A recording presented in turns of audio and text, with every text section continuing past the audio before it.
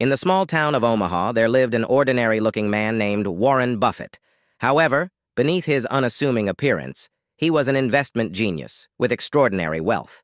In fact, Warren Buffett never used a computer or smartphone to make his investment decisions.